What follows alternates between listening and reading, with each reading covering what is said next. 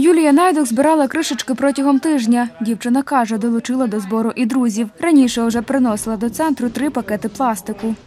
Е, Збираємо з води, з йогуртів.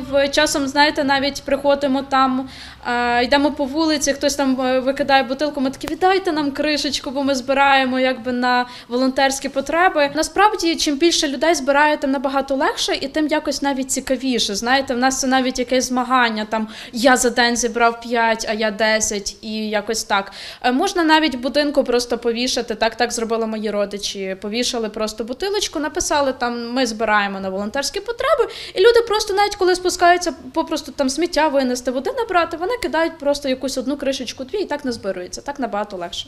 Адміністратор молодіжного центру Назарій Жуков перевіряє кришечки. Наприклад, таку кришечку варто було би помити перед тим, як приносити. Ось вона трішки брудна, так?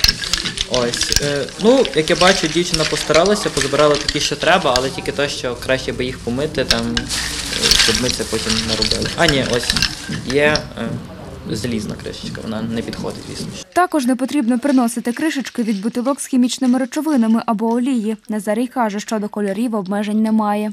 Підходять такі кришечки з-під води, звичайного, там, чи соку, щось такого, і такі від е, йогурту, там, ось самі звичайні кришечки.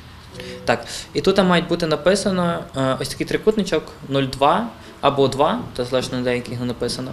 Ось, якщо ви бачите, що по формі з матеріалом ніби такий самий, то можете теж приносити. Щоб придбати реанімобіль для ЗСУ, потрібно продати 200 тонн пластику. Тернополяни вже принесли 120 кілограм кришечок. Це 30 таких мішків, каже Назарій Жуков.